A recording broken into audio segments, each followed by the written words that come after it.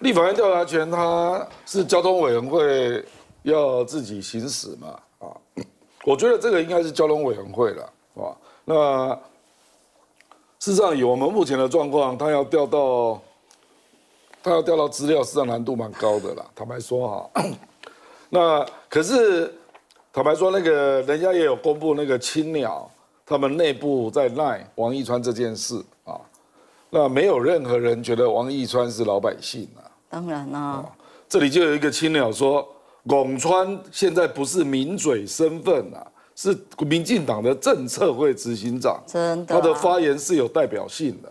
然后又说这事情有点大条啊，因为他讲的实在太具体了啊，这个都是青鸟的留言啊，被人家截出来的。然后有人说，这事情如果发生在国民党执政时代，不知道烧到哪里去了。你可以看绿媒有在做这个议题吗？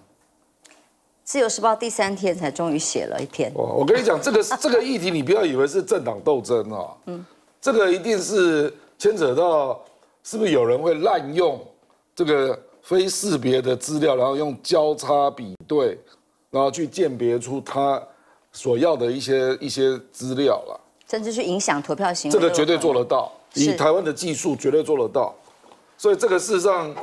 跟你你我的人权是有关的，当然，所以连那个台全会，台全会是很绿的团体，他都认为这个问题要查，啊，所以王一川，你不要以为是你个人问题啊，所以这个当然就看出调查权的重要了。不过交通委员会首先就是面对三个部门，听说三个报告加起来只有七页了，那我不知道这个叫不叫藐视国会了，那交通委员会自己去判断吧。啊，我叫你写这个方向，那给你给我两页，那你是什么意思啊？啊，我觉得这个就是逐渐的要去建立标准呐，因为我们很难说调查权什么样叫做藐视国会啊，因为藐视国会最后是要全院通过，那这个坦白讲就是在建立你的民主嘛，你在形成惯，这个要经过公益了，说实在的啊，那这个林书水他是讲到重点啊。院际协调权，大家要知道哈，中华民国宪法为什么会有院际协调权？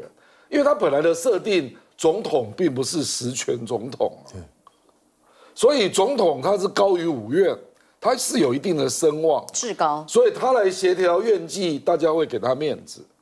你现在总统已经直选了，还是当主席？权力大量介入，嗯，所有的院，包括司法院啊，我讲白了啦，监察院也是你提名的。那行政院就不用讲了，这种院际协调有任何意义吗？完全没有意义。所以王宏威讲的很对啊，你如果来开院际协调，那到时候是四个院对一个院，是不是？因为司法院也是你的人啊，这个就是少少林足球那个啊，那么球判球员通通都是在我手上，这种院际协调怎么开啊？而且院际协调又不能表决，那你赖清德现在没有这样的一个公正的声望，谁甩你呢？对不对？所以我觉得开这种会根本没有意义啦，因为赖清德是第一个不公正的总统，哎，他第一时间就已经表态支持群众那边了，你还想说要来院际协调？我看不用了吧，我看是卓荣泰来跟立法院党团队党团来协调比较实际了，哦，就是大家互相让一下吧，哦。用这样的协调恐怕比较实在了。其实我觉得大概也问不出个什么东西来，因为现在看起来他们就是打算用敷衍了事的态度混过去，就是这样，顶多就是发发脾气骂一骂，也不能怎么样。那实际上这整件事情的发展，我 我一直觉得很好笑的在哪里，就是王义川讲的如此斩钉截铁，说这是一般民间公司常常在做的一些行为。没有，大家都跳出来了。对啊，哎，现在三大电信公司龙头都告诉我，我们从来没有提供过这些资料。那请问一下，你们的资料到底从哪里拿出来？而且如果你这一直自认为，包括自啊那些人都认为说这就是合法的行为啊，这是你们不懂，你们见怪那个大惊小怪，那你就直接把资料拿出来不就结了吗？告诉我们哪一家公司在做啊？搞不好国民党跟民众党也可以去委托他来做这样的资料，为什么不拿出来？为什么要躲？然后还讲说，如果哪个节目用用这个主题约我通告，我就退通告。为为什么要怕？这这有什么好怕的？我不知道，你不是站在理智上吗？干嘛怕呢？这代表什么？代表心里有鬼，心虚嘛。他自己实际上也不敢把这个资料拿出来嘛。你根本连哪一家公司做了，你也不敢讲，不是吗？所以这个整件问题为什么严重？因为这是政治侦防啊，这是非常明确的政治侦防啊。然后你还好意思讲说自己是一介平民，你个笑死人！你怎么有这这怎么会有这么低能的人呢？我真的不懂。所以现在还能够支持他的那个齿力也真的要蛮高的。那至于说韩国瑜去跟国民党的立委这样才引荐，说希望先推民生法案，不要提争议法案。其实现在最争议那个法案不是国民党提的，是陈廷飞在联署哎。没错没错。会考阶是，所以你韩国瑜也不用操心啊，那是民进党自己在搞自己的政府啊，OK 啦，很好啊。我我觉得国民党这而且这个没有争议啊，这不是争议法案，为什么？因为民众党已经说要支持。民进党也说他要支持啊，那现在你要你国民党要反对，我觉得国民党不要反对啊，你就让他去弄，他们自己要自废武功，你干嘛挡挡住他，对不对？就就推啊，看赖清德怎么回应这件事啊。所以我觉得不会有争议，只要国民党不反对，就完全没争议。拜托国民党这次要看准，要看好，不要不要再每一次都帮人家当刹车皮，不用去干这种国民党最好是开放联署，对啊，就开放啊，对了，对啊，就让他们去联署啊，这个案子过了有什么不好？没什么不好啊，那我我觉得那个院际协调本来就不可能开的。以赖清德的个性，他根本他根本就不想跟你协调。我赖清德的个性一直都是这样子，他就是要跟你硬干到底。他们已经准备好了，就是准备要直接那个视线了，视线就把你解决掉，就是这样这么一回事。那至于罢免，我说真的，要罢免很好，蓝绿大家一起来，全国大罢免，这等于变相解散国会，我求之而不得。你柯建明这篇脸书，你有没有人跟我一样觉得恶心反胃、起鸡皮疙瘩好像有点情愫。哎，我觉得是告白哎。玉敏就是是，不会觉得这个怪吗？我觉得这个老柯已经不是第一次啦。记不记得呃上一次的时候他说什么？呃，吴思瑶的眼泪是立凡最美的风景，是不是？类类似这样子的。然后他现在又再来一次哦，泪是珍珠。对对对，我。我觉得柯建敏他应该现在跟呃吴思老师互相取暖呐，就是说在立法院里面呢，民进党党团每次都看到他们两个就是如影随形嘛，就是哦，还有几个画面被特别剪出来，对对对，然后在委员会开会的时候，就是还可以呃，大家看到有一点类似打情骂俏的那种感觉哈，这个情感可能很深呐哈，那可能是革命情感，我我觉得可能是革命情感了哈。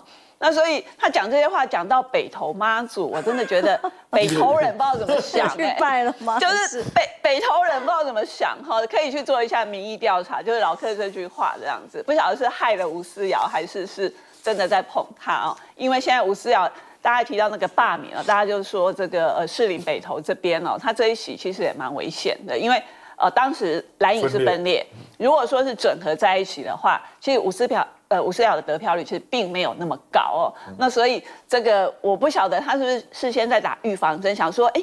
封了一个北投妈祖之后，哎，谁敢罢免妈祖啊？对不对？